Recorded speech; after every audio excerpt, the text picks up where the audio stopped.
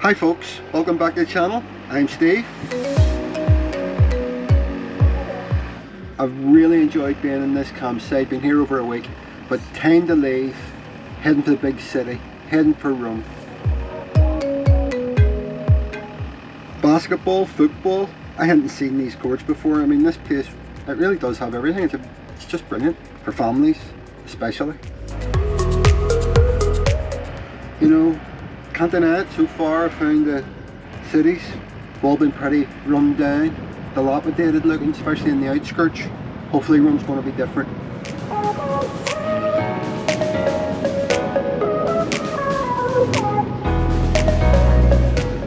No comment on the road conditions. So not too far to travel today. I'm already in the outskirts of Rome. I think I was only going like 38 kilometres in all.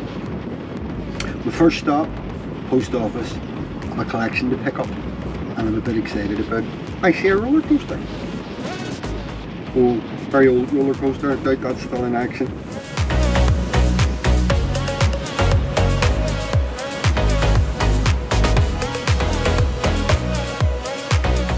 So far so good, I mean Rome looks beautiful, like really really nice.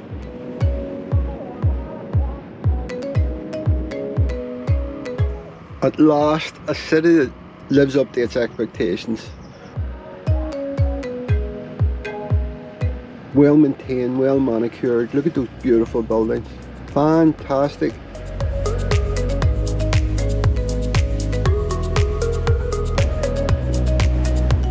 I'm a bit of a geek when it comes to mechanical things like a bridge. To me that's that's stunning, that's amazing looking.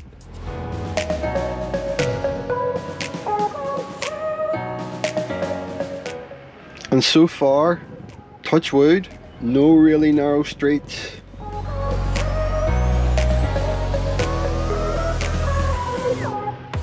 Right, so Google says you've arrived, but I haven't, not for the first time. Google's brought me to the wrong place. Right, I'm to give the other app, the Here app, a go and see if it does any better.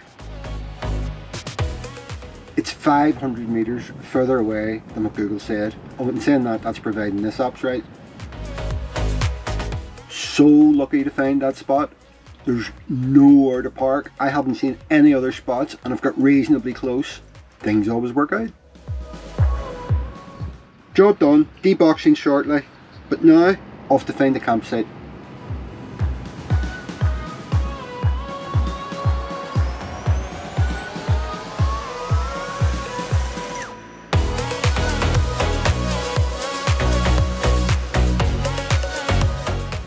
Yo, KFC, a few hundred yards from the campsite. Finger licking good. I've arrived at the campsite in the middle of Rome, which would be brilliant, except I can only stay tonight. She said they're booked up tomorrow and right over the weekend, which is a problem because I was going to spend tomorrow doing my Rome visit but she said she'll if there's any spots come up she'll let me have it. So what I do in Rome is going to depend on her.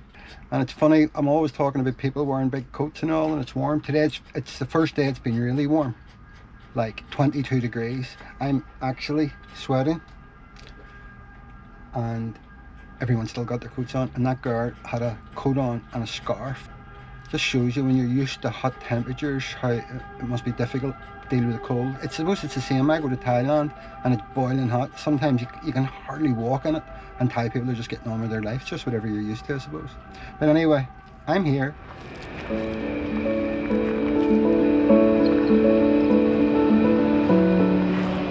I need milk and a couple of other bits and pieces and then I'm going to go back and I'm going to unbox. Unbox what? You might ask. We'll see shortly. Scooters everywhere.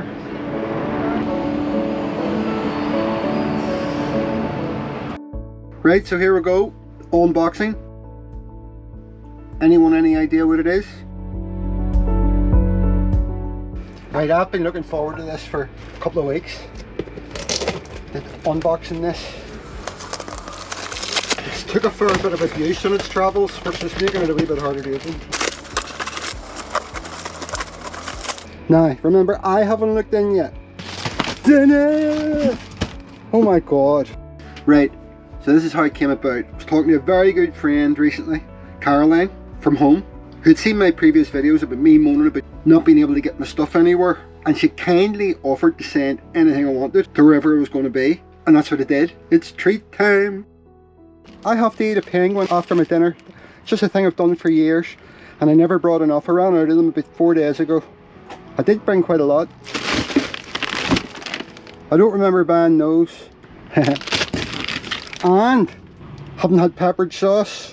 This is better than Christmas morning for me. Caroline, thank you very much. You've went up even a wee bit higher than my estimation, although you couldn't have been much higher anyway. But thank you.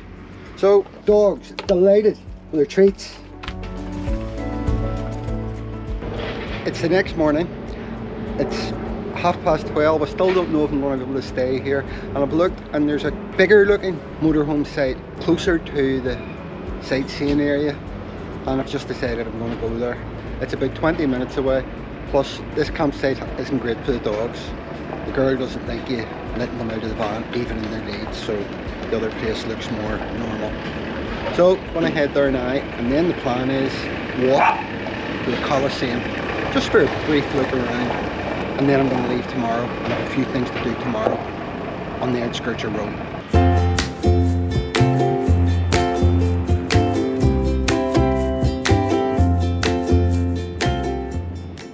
This is so strange. I turned a couple of corners. I'm in the city. You turn the corners and all of a sudden you look like you're in the countryside, but I'm not. I'm still in the city. I'm loving Rome. It's so beautiful. My favourite cities so far in my life have been number one, Bangkok, number two, London, number three, New York, number four, Paris. Now, Rome, although I haven't spent a lot of time in it yet, would definitely be in my top five somewhere. Here we go again.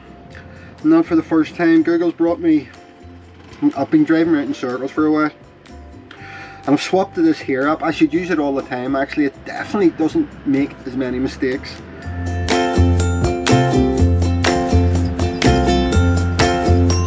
Looks like a car park, that's alright.